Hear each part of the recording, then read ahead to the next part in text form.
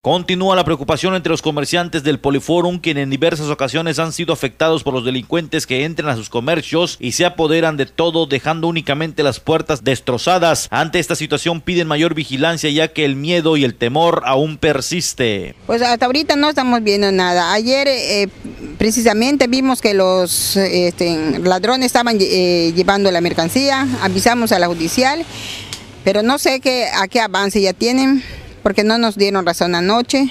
Sí, estamos preocupadas porque no hay vigilancia como debe ser, como se nos había prometido que iba a haber más alumbrado y vigilancia.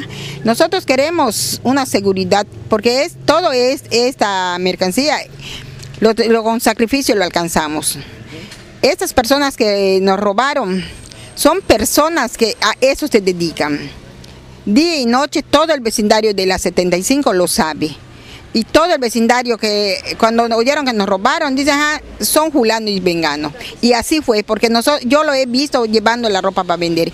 Muchas personas que compran el Poliforo me han venido a decir, en tal lado se vende. Señora, ayer le vimos en las instalaciones de la Procuraduría, ¿qué le dijeron por la coordinadora? Pues nos dijo que va, a este, mandar que, se vigile, va, van a tomar cartas en el asunto. Yo que, quisiera saber si eso va a ser verdad, quiero, quiero ver que se haga como se debe hacer las cosas.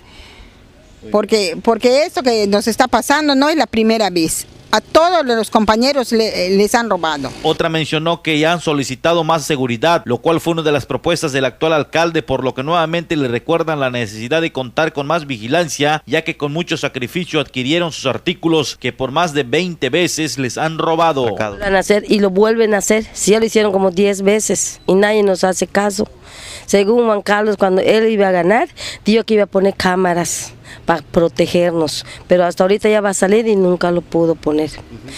Y lo que pedimos es protección, que nos cuiden, que, traten de cuidar nuestros puestos, que con trabajo lo trabajamos para que venga otro y se lo lleve. Usted apenas está levantando con mucho sacrificio. Sí, como tres veces ya me robaron. A mi cuñada también le robaron como 20 mil pesos. También la pobrecita se fue para abajo y dejó su puesto lo lamentable de esta situación que ustedes tienen plenamente identificados a los ladrones? Pues son esos que dicen que lo andan vendiendo por allá y ellos los agarran y dicen que no son ellos. Que mientras no lo agarren con la ropa en sus manos, no se puede hacer nada. Es lo que yo no sabemos, porque a mí me han, siempre me han engañado que sí, que sí, hasta ahorita nunca. Lo que esperan es que se haga justicia. Sí, claro, que nos pongan protección por algo, por algo, aunque sea las cámaras como dicen. Con imágenes de Benjamín Carrillo, informó Porfirio Ancona.